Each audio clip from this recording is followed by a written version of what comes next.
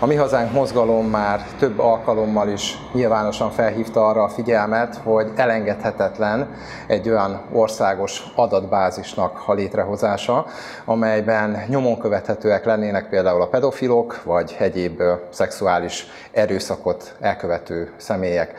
Erre való hivatkozással én a mai sajtótájékoztatóm alkalmával szeretném bejelenteni, hogy hasonló nyilvános adatbázis létrehozását szeretném kezdeményezni, és szeretném elérni az állatkínzók esetében is. Ezt alátámasztja ezt a kezdeményezésemet, hogy néhány napja a múlt héten kapott egy szexárdi férfi, egy bűnelkövető 20 év szabadságvesztés büntetést, ugyan még nem jogerősen, aki brutális kegyetlenséggel, aljas indokból elkövetve megölte a hat éves unokahúgát. A különféle bulvár sajtókban, médiaorgánumokban megjelent, hogy ez a férfi gyakorlatilag egy időzített bomba volt, mentális betegségekkel küzdött, különbözőféle drog problémái voltak, és a családja elmondása szerint is gyermekkorában már állatokat kínzott, állatokat boncolt, ez okozott neki örömet. Édesanyja elmondása alapján volt olyan eset, amikor egy kiskutyát élve dobott a tűzbe, azért, hogy végignézze, hogy hogy pusztul el a szerencsétlen kutyus.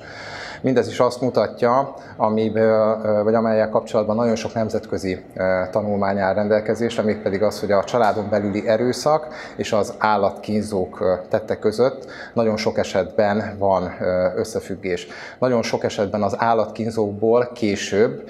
erőszakot tevő, vagy erőszakos bűncselekményt elkövető személyek keletkeznek. Ennek a nemzetközi példák közül talán az egyik legismertebb tanulmánya az Amerikai Egyesült Államokban megjelent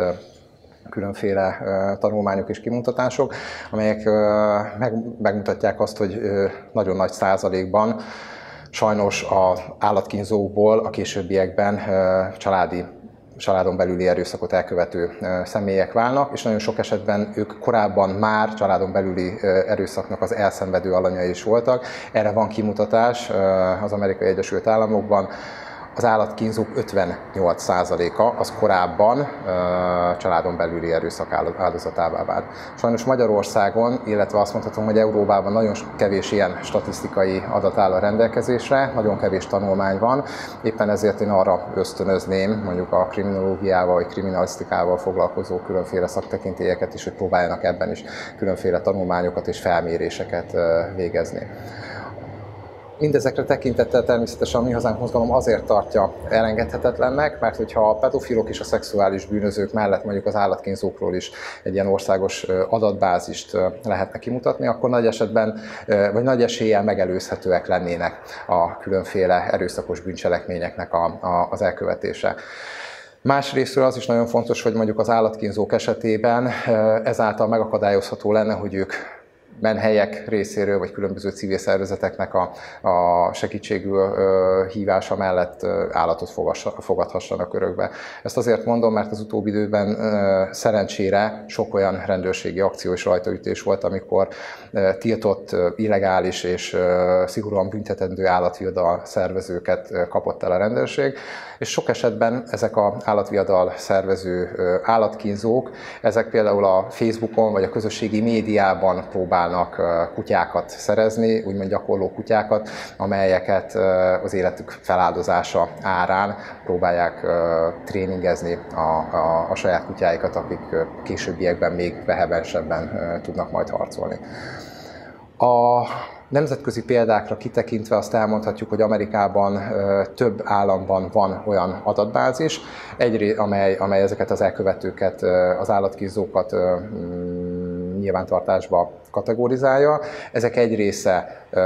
államonként változóan, ezek egy része vagy a hatóságok, vagy pedig a különböző állatvédő szervezetek helyek részére elérhető, más részre pedig igazából nyilvános és mindenki számára elérhető. A Mi Hazánk mozgalom pedig azzal a kezdeményezéssel fog majd fordulni az országgyűlés felé, hogy ezt az adatbázist, ennek a lehetőségét teremtse meg. Ebben az adatbázisban az állatkínzóknak az elérhetősége, utolsó ismert lakhelye, az általuk elkövetett bűncselekmény cselekmények legyenek természetesen feltüntetve, a különböző személyes adataik a személyleírásuk, és természetesen egy profilképpel, egy jó minőségű fotóval is lehessen beazonosítani ezeket, hiszen tudjuk, hogy sok esetben az állatkínzások esetében, illetve a különböző erőszakos bűncselekmények is elsősorban a családon belüli erőszak elkövetése esetében is nagyon-nagyon nagy szerepe van a környezetnek, hiszen a, a lakókörnyezet vagy a közvetlen környezet tud leghamarabb értesülni, információkat szerezni az ilyen személyek veszélyességéről, illetve az általuk elkövetett cselekményekről, és ezt a hatóságok részére tudomás, vagy a hatóságok számára tudomásra tudják hozni. Úgyhogy bízom benne, hogy ezt a kezdeményezésünket támogatni fogja a parlament politikától és pártállástól függetlenül.